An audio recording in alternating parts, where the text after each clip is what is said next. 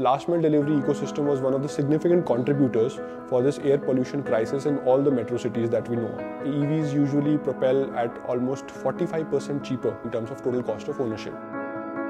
For last mile uh, delivery of goods, in 2022, 60% of vehicles registered were electric.